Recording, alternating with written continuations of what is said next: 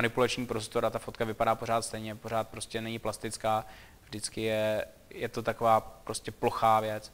Takže ten blesk byl odražený eh, asi tak metr od, od foťáku, byl propojený radiovým odpalovačem a eh, v podstatě z toho vznikla titulní stránka kalendáře, protože tady v tomto případě ještě neexistovaly žádný, žádný tyhle ty bateriové blesky, které by měly v sobě tu baterii za, z, nadspanou.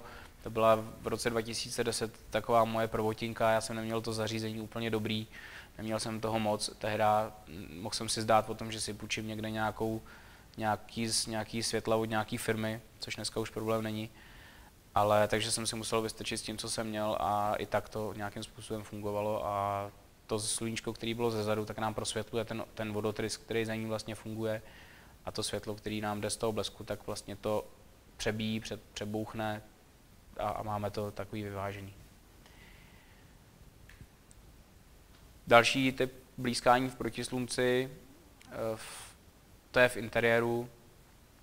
Vidíte sami, že když máte v interiéru, eh, když máte nějaký světlo, který nám jde zvenku, tak eh, kdybychom, neměli, kdybychom tam měli trvalý zábleskový trvalý světlo daylight, tak by nemohlo fungovat, protože by bylo, nebylo dostatečně intenzivní k tomu, aby nám to, to přebylo ten, tu záři zvenku. Eh, takže tady máme použitý klasický jeden jediný záblesk, což nabádám i asi každýho z vás, aby si aspoň třeba jeden záblesk pořídil, pokud se chce věnovat glamourovému svícení, protože dva jsou dobrá věc, jeden je v podstatě nutnost, protože vždycky můžete použít to zadní světlo jako, jako konturový nebo jako doplňkový a to, nebo obráceně. Můžete to hlavní světlo brát jako to, co je zvenku, Můžete ji prostě fotit proti oknu a může být v oknu a můžete použít ten záblesk jako konturu, jakkoliv. Ale prostě potřebujete aspoň dva světelní zdroje, abyste dosáhli plasticity fotky.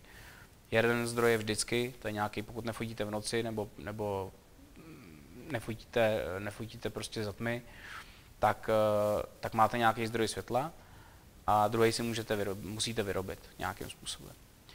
Důležité je vědět ještě, že eh, je možnost to světlo ladit a stejně tak, jak jsme si ukazovali v tom focení v RAVu, že si můžete zesvětlit různé věci, tak můžete i přidávat světelné efekty do fotek. Eh, tady ta fotka je v podstatě taky skládaná ze dvou expozic a to je sice takováhle.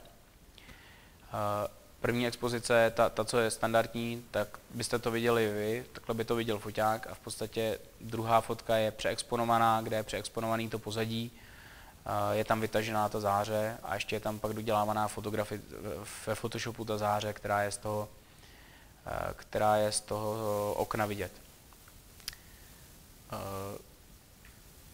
Tady máme další efekty, které se dají přidávat do fotek zase opět postprodukcí.